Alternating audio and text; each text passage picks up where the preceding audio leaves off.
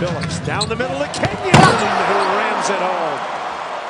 Boy, the Nuggets ball movement super tonight. Just penetrating, being strong. Nuggets with an 18 point lead, biggest lead.